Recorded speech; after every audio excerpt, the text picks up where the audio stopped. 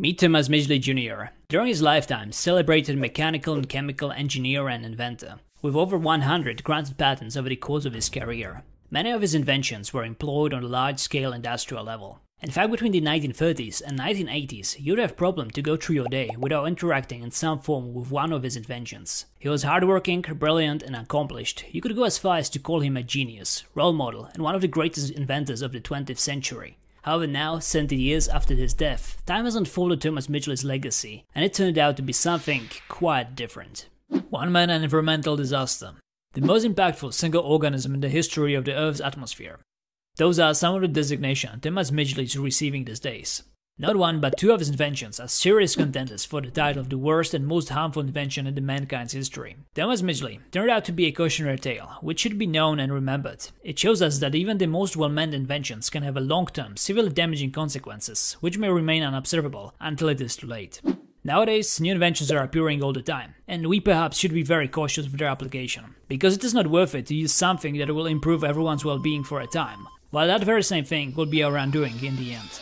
Before we jump into the story, I just want to clarify that I'm not saying that we should stop inventing things, but just that we should be cautious and vigilant with them. As for example, an inventor might even be aware of the potentially dangerous side of his invention, but he might not express it publicly so as not to harm potential sales. And after all, we are living in times in which one single invention can cause so much damage as to outdo all the benefits of all other inventions combined. Alright, on this positive note, let's get into it. In 1921, Midgley worked for a General Motors company, which by that time had spent several years trying to find a petrol additive that would reduce engine knock.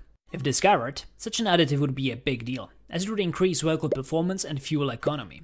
After several years of failed attempts, Midgley tried to mix gasoline with tetraethyl lead, a chemical compound discovered earlier in mid-19th century. And sure enough, the two seemed to be made for each other. It worked like a charm. Smelling an opportunity in the air, General Motors and two other large companies bonded together to form a corporation with only one goal. That was to create and sell as much of this magical juice as the world was willing to buy. And willing it was. Even despite the fact that people at that time already knew about the dangers of lead. Lead is highly poisonous metal, and there is a curious reason for why lead and some other metals are poisonous. After ingestion, lead gets absorbed into the bloodstream, and our body gets confused. It pretty much mistakes lead for calcium. Calcium is a vital mineral which our body needs in large quantities and is indispensable in the building of our bones and in the functioning of our muscles. So when lead gets absorbed, it will be dispersed efficiently all over the place, just like the calcium would be, without any resistance whatsoever. And the worst thing is that our brain really likes calcium too. Mistaking a foe for a friend, lead will pass without slightest effort to all the important places and will unleash havoc, damaging your brain irreparably. Among many other symptoms of the poisoning, there are blindness, insomnia, hearing loss, hallucinations, kidney failure, convulsions. You get the picture. In the 1930s, lead was already known to be dangerous, but somehow that didn't bother people much, as it was widely used in plenty of products. Food cans were sealed with lead solder, water was stored in lead-lined tanks, or lead was sprayed on the fruits as a pesticide. Nonetheless, when the world learned about lead being added to gasoline, some concerns were actually raised. In 1924, Thomas Midgley participated in a press conference to demonstrate the safety of leaded gasoline. During the conference, he poured tetraethyl lead all over his hands, and then placed the bottle with the chemical underneath his nose and inhaled its vapor for 60 seconds straight, claiming that he could do this every day without suffering any harm. This claim was made despite the numerous cases of poisoning and even 15 deaths at the chemical plants of the corporation. And despite the fact that Midgley just spent few months resting and recovering after being lead poisoned himself. All concerns were just swept beneath the rug. Consensus pretty much was that as long as you don't drink the stuff, you'll be fine. Now, nothing was stopping the production of lead gasoline from ramping up. It was easy to produce, crazily profitable, and hey, it really worked, it really stopped engines from knocking. Soon all engines were running on leaded gasoline, and perhaps they still would be, if it wasn't for this man. Clair Patterson, who is a real hero in this story. Patterson is an interesting character for more reasons. He made his way to history books by correctly measuring the age of the Earth for the first time. To measure it, he was using lead isotopic data, which made him stumble on something very concerning. All his samples were contaminated by insanely high levels of lead, often 200 times the height they were supposed to be on. Patterson managed to bypass this problem by creating a clean, isolated room, which was specifically designed to keep even the smallest particles from entering it. Such rooms are nowadays common for scientific research, but back then, he was one of the very first people to ever create such a place. In In 1956, Patterson successfully measured the age of the Earth to be 4.5 billion years.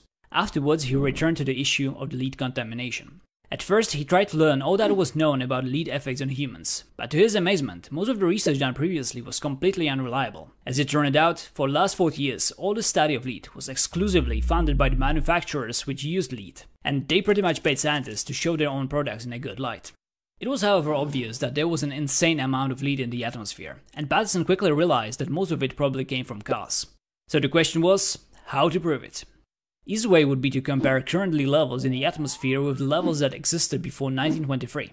That is when lead gasoline started to be implemented. However, no one kept a record of such things at that time. Luckily, this problem had an elegant solution. In places like Greenland, snow never melts away completely, and it accumulates in layers year after year. Due to the temperature differences, the color of snow in summer is slightly different from color of the snow in winter. Thanks to that, informations about the state of our atmosphere, even as much as 1000 years back, are very neatly stored and accessible with the right tools. And sure enough, Patterson found out that before 1923 there was almost no lead in the atmosphere, and since then the levels have been climbing steadily up. Now 100% certain of the source of pollution, Patterson embarked on a crusade against leaded gasoline.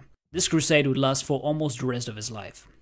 By now, that is in 1965, original inventor Thomas Midgley was dead already for 20 years. But the roots of the industry's invention fed run very deep. Many of the richest American companies of the time were in the leaded gasoline business. Fight against them would prove to be a nightmare. Patterson was all of a sudden unable to acquire research funding. Ongoing research contracts started to be cancelled out of nowhere for no reason. Institutions that employed him would be offered a very generous funding sums if they let go of that one delusional employee. Even though he was the greatest living expert in the matter, he was being excluded from lead pollution conferences, in spite of all of that, and to his great credit, Patterson have never backed down.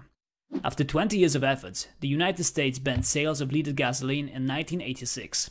Almost right away, the lead levels in the blood of Americans fell by 80%. However, lead is not gone altogether. In fact, it never will be. It's unfortunately not something that will just disappear. Everyone alive today has 625 times more lead in their blood than someone that lived 100 years ago. Last and final country to ban the sales of leaded gasoline was Algeria in 2021. Finally, and officially since the last year, you can't buy leaded gasoline anywhere on the planet anymore. And it was about time. Researchers found an almost surreal link between lead pollution and violence. This graph is showing average lead levels in the blood of the preschool children between 1937 to 1988. And this graph is showing the average amount of violent crimes per 100,000 people between the 1960 and 2011. If we move violent crimes graph over the lead levels graph, the two seems to match. You could predict rather well how violent generation is going to be 23 years later, based on the lead levels in the blood of the 6 years olds. Violence is, however, a rather complex issue and a lot of different variables come into play, so the link between the lead poisoning and crime rate is considered hypothetical. Still, it fits very well with what we know from people that survive lead poisoning as they tend to often manifest higher instability and aggressive behavior. Hence, it is very likely that lead played at least some part in the increased violence of this period. If Thomas Midgley is not your least favorite inventor already, wait till you hear about his second contender for the title of the worst invention of all times. Because while his first invention managed to poison every living organism, his second invention was firmly and happily on his way to eradicate life on this planet, without much exaggeration. Story of this invention starts with Fridges. Those nasty bastards. Well, they used to be nasty bastards. Murderous nasty bastards, in fact. That's no joke. Fridges were rarely killing people, whole families at once. You see, initially toxic and highly flammable substances like sulfur dioxide or ammonia were used to cool refrigerators. As long as they stayed enclosed, all was fine. But if they started to leak through eroding pipes, come the morning, the whole household could be dead.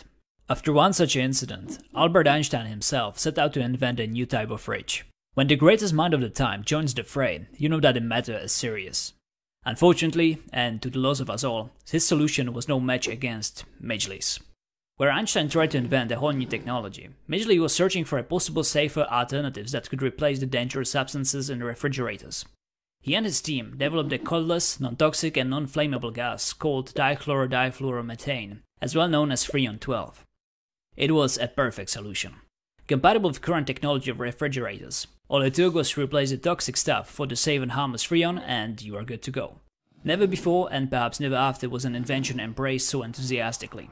Freon went to production in the 1930s and soon found plenty of other applications, even beyond fridges, among others as propellant in all kinds of sprays. However, perhaps most famously, it revolutionized air conditioning. Before Freon, air conditioning was not a widespread thing, but now with safe and harmless refrigerant at our disposal, air conditioners started to appear everywhere, like for example in the cars for the very first time. Midgley was again regarded as a hero, and while with his first invention, leaded gasoline, he perhaps was aware of the possible dark side of it, concerning his second invention, he and everyone else alive genuinely believed that Freon made the world a bit better place. And it remained so long after the Midgley's death. In 1974, after 40 years of widespread use, it was discovered that a nice and friendly Freon, from the next doors that always helps the elderly, seems to turn into a violent mass murderer once it finally reaches heaven. By heaven, I mean ozone layer of our atmosphere.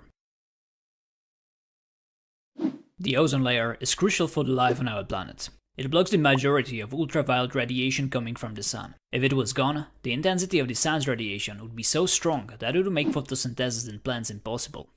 Plants can grow without photosynthesis taking place, so they would soon all die out, which would result in a complete food chain collapse. If not a full depletion of ozone layer but just a partial takes place, it still has severe negative consequences, like increased skin cancer rate, possibility of the severe sunburn. Or people can even go blind, as our eyes are very sensitive and can be easily damaged by the increased UV radiation. The real problem is that ozone is not very abundant.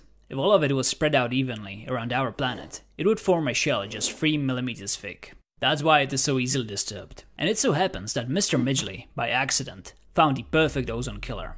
It is estimated that one single kilogram of freon can over time destroy up to 140,000 kilograms of ozone. What seemed at first as the perfect solution turned out to be in fact the final solution in disguise. Relatively soon after this upsetting discovery in 1974, Freon started to be phased out and banned from using products like sprays that released it directly to the atmosphere. But it still could be used where it was enclosed in, like in fridges. Everything changed in 1985, with the discovery of an ozone hole over the Arctic. That freaked everyone out. In 1987, Montreal Protocol came to be, which is an international treaty designed to protect the ozone layer. The treaty was by now signed by every country on Earth and is considered to be the most successful international treaty in history. Luckily, it came soon enough. The ozone layer is now recovering, but it will take a long time. You see, Freon is rather durable. On average, it will float around for about 100 years, causing havoc all the time. It is predicted that it will take until 2070 before ozone returns to its former state before 1980s. So this is how Thomas Midgley poisoned the entire planet. Twice. But wait, there is more. Our genius inventor still has one more little invention to his name.